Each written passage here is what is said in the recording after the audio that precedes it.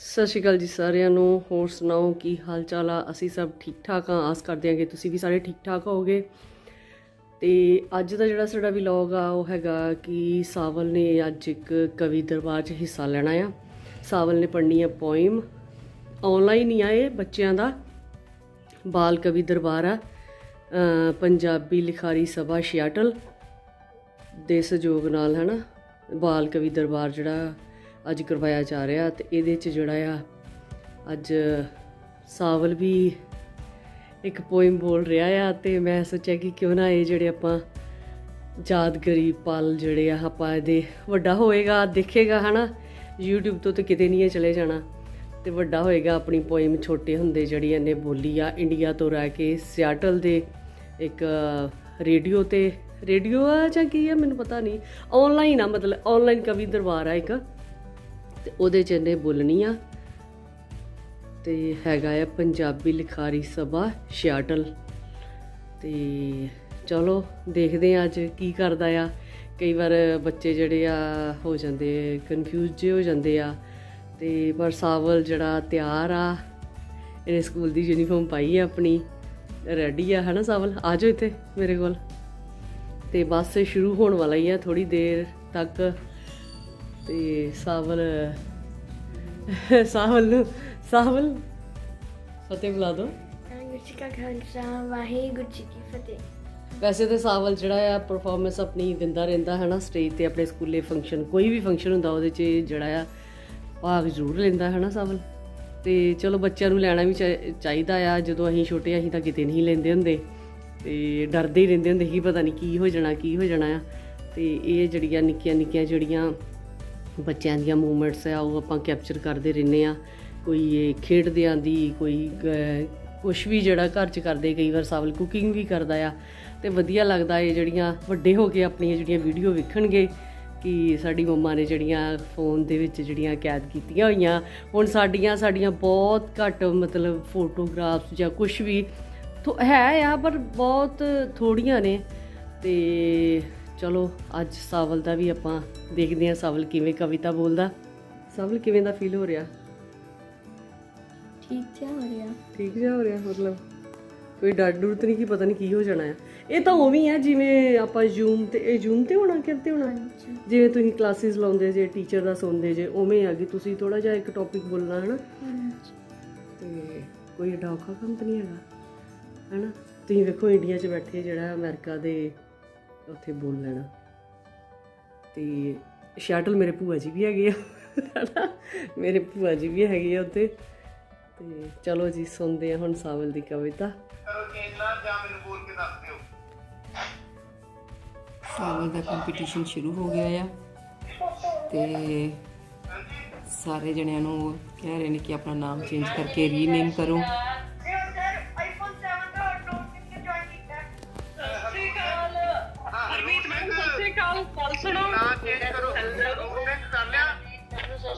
Also there, Gursavrat is also there. I'm also there. Yeah. With you all. Punjabi ਬੋਲੋ ਹਾਂਜੀ ਮੇਰੇ ਬੱਚੇ ਆ ਗਏ ਨੇ ਉਹਨਾਂ ਦੇ ਨਾਂ ਜਸ਼ਨ ਦੇਖੋ ਸਿੰਘ ਵੀ ਆ ਗਿਆ ਹੈ ਉਹਨਾਂ ਦੇ ਨਾਂ ਦੇਖ ਲਓ ਸਾਰੇ ਠੀਕ ਆ ਰਹੇ ਨੇ ਉਹਨਾਂ ਦੇ ਆ ਰਹੇ ਨੇ ਹਾਂਜੀ ਹਾਂਜੀ ਹਾਂਜੀ ਦੇਖ ਲੱਗਿਆ ਹਾਂ ਕਹਾਂ ਸਾਵਲਜੋਤ ਸਿੰਘ ਜਸ਼ਨ ਸਿੰਘ ਗੁਰਸਮਰਤ ਸਿੰਘ ਤੇ ਕਮਲਪ੍ਰੀਤ, ਭੈਣ ਜੀ, ਤੁਸੀਂ ਕਰੋ ਜੀ ਪ੍ਰੋਗਰਾਮ ਦੀ ਸ਼ੁਰੂਆਤ ਤੇ ਤੁਸੀਂ ਟਾਈਮ 5-5 ਮਿੰਟ ਤੋਂ ਘੱਟ ਹੀ ਰੱਖਿਓ। ਉਂਗਰ ਦੇ ਹਰਫ ਵਿਸ਼ਵਕਾਰ ਮਹਿਫਿਲ ਵੱਲੋਂ ਪੰਜਾਬੀ ਲਿਖਾਰੀ ਸਭਾ ਸੈਟਲ ਦੇ ਸਹਿਯੋਗ ਨਾਲ ਅੱਜ ਅਸੀਂ ਬਾਲ ਕਵੀ ਦਰਬਾਰ ਕਰਵਾਉਣ ਜਾ ਰਹੇ ਹਾਂ। ਤੁਹਾਡਾ ਸਾਰਿਆਂ ਦਾ ਇਸ ਦੇ ਵਿੱਚ ਸਵਾਗਤ ਹੈ। ਸਾਡੇ ਅੱਜ ਦੇ ਮੁੱਖ ਮਹਿਮਾਨ ਦਲਜਿੰਦਰ ਸਿੰਘ ਰੇਹਲ ਜੀ ਨੇ ਇਹ ਸਾਡੇ ਸਲਾਹਕਾਰ ਵੀ ਨੇ, ਇਟਲੀ ਦੇ ਵਸਨੀਕ ਨੇ, ਵੱਖ-ਵੱਖ ਸੰਸਥਾਵਾਂ ਦੀ ਨੁਮਾਇੰਦਗੀ ਕਰਦੇ ਨੇ।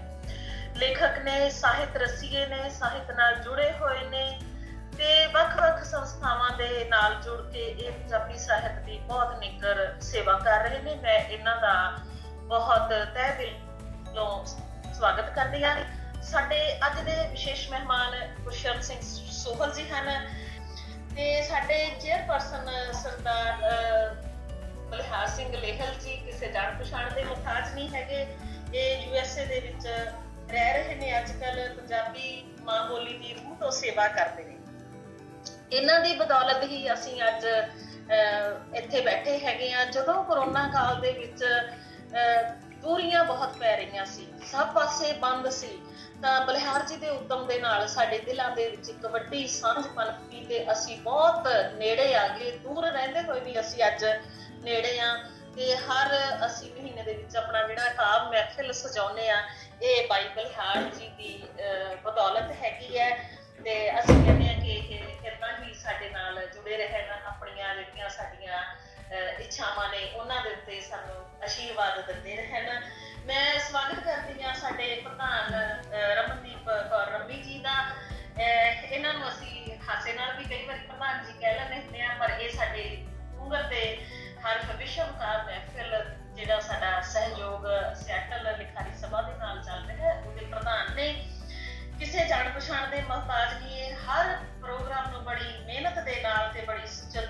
ਨਾਲ ਨੇਪਰੇ ਚਾੜਦੇ ਨੇ।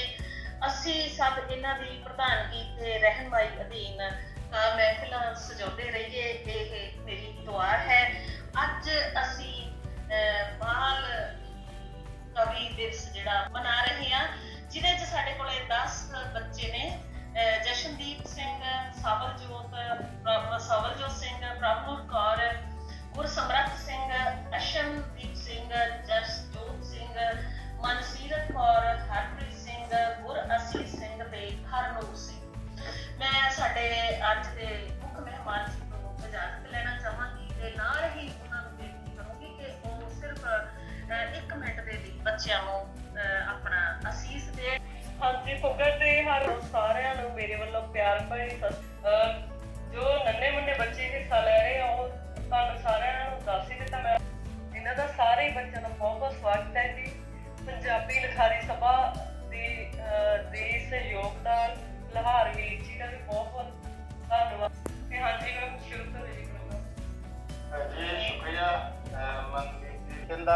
ਮੁਬਾਰਕਬਾਦ ਦਿੰਦਾ ਕਹਿੰਦਾ ਵੀ ਇਸ ਪ੍ਰੋਗਰਾਮ ਦੀ ਸ਼ੁਰੂਆਤ ਕੀਤੀ ਜਾਵੇ। ਤੇ ਮੈਂ ਵੀ ਇਸ ਪ੍ਰੋਗਰਾਮ ਦੇ ਵਿੱਚ ਕੋਈ ਮੁੱਖ ਮਹਿਮਾਨ ਵਜੋਂ ਨਹੀਂ ਸ਼ਾਮਲ ਹੋਇਆ। ਤਲਬਕਾਰ ਸਾਰੇ ਮੇਰੇ ਭਰਾ ਨੇ ਮੇਰੀਆਂ ਭੈਣਾਂ ਨੇ ਅਸੀਂ ਇੱਕ ਸਾਰਾ ਪਰਿਵਾਰ ਹੈ। ਇਸ ਪਰਿਵਾਰ ਦੇ ਵਿੱਚ ਬੈਠ ਕੇ ਅਸੀਂ ਆਪਣੇ ਬੱਚਿਆਂ ਨੂੰ ਸੁਣਨਾ ਹੈ ਮੰਨਣਾ ਹੈ, ਮਹਿਸੂਸ ਕਰਨਾ ਹੈ। ਤੇ ਉਹਨਾਂ ਨੂੰ ਸ਼ਾਬਾਸ਼ ਵੀ ਦੇਣੀ ਹੈ ਤਾਂ ਕਿ ਉਹ ਆਉਣੇ ਵਾਲੇ ਸਮੇਂ ਦੇ ਵਿੱਚ ਜਿਨ੍ਹਾਂ ਰਾਹਾਂ ਤੇ ਤੁਰ ਕੇ ਅਸੀਂ ਆਏ ਆ ਉਹਨਾਂ ਰਾਹਾਂ ਤੇ ਤੁਰ ਕੇ ਸਮੇਂ ਦੇ ਹਾਣੀ ਵੀ ਬਣਨ।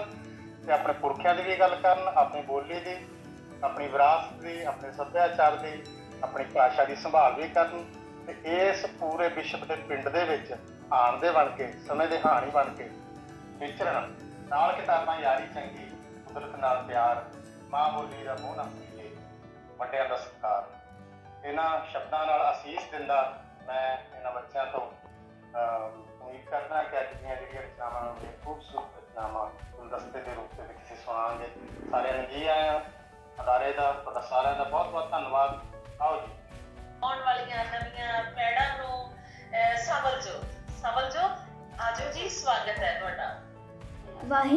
ਕਾ ਖਾਲਸਾ, ਵਾਹਿਗੁਰੂ ਜੀ ਕੀ ਫਤਿਹ।